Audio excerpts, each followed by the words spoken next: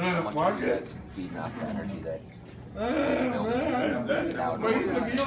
think it's even about energy. I mean, our fans are amazing. I just think that we're executing here at home. Offensively, we're really good. Um, and uh, offensively, we usually never have problems with it. Obviously, our defense translates to a lot of fast break points and opportunities going back the other way. So, uh, you know, it just I think it's the comfort level we have here at home, and uh, we just seem to lock in a lot. What's the key now to taking that what you're able to play at home and transferring it to the road now as you head out for your? You know, the biggest thing is we got to uh, do everything we do here. You know, get our rest and make sure that we're fully prepared for the game. The coaches do a great job every single game preparing us. And, uh, we have to go out there and execute. Uh, I think sometimes you know, we get too we get relaxed a little bit too much. But you know, we got to keep going. We got great fans here. We've seen the win here. We just got to uh, take the momentum and take the kind of uh, execution I think you're really tied for the best home record in the NBA now. Is that just something that good teams do? I mean, obviously, you got to protect home. You need to do a lot of good things and win at home, especially. And uh, uh, we're doing a great job of finding ways to win. I don't think it's even home. I think it's just a way we're doing a great job all season, scratching out wins and finding ways to get wins. They're all star race. I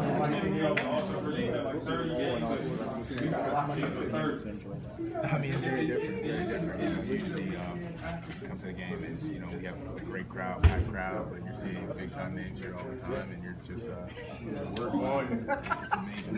It's amazing. It's amazing what Super Bowl brings to Minnesota, and uh, we're very fortunate. So winning both of those games, that kind of energy, I mean, what does that say about your team and being able to win those? I, I think that for us, we obviously didn't want to disappoint any Silver River. They just coming in and uh, did a great job just executing, especially during this run. So. Doing a great job of not only finding ways to win, but uh, getting uh, large margins of wins. Yeah, what were you just what was your trying your overall approach? I mean, you pounded the glass pretty well, but also mixed in threes, got you know got some going to the basket. Just take take uh, the defense gets taking my time and just trying to find ways. You know, you got to put pressure on um, all night. Come in, come, come in. Yeah, come in. Come in, like Come in, drive, come in.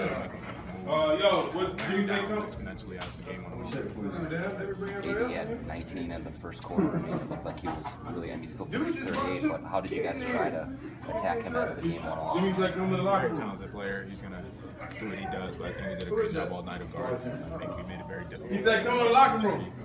Uh, 38, 39, you said. Yeah, like, we made it very, uh, we made it very difficult on him. You know, he took a about contested shots. You know, he's a very talented player, so he makes some of those difficult ones that other people won't. But he did a great job making sure that every time he shot the ball, it was uh, contested, put a hand in his face, and make him think twice about it.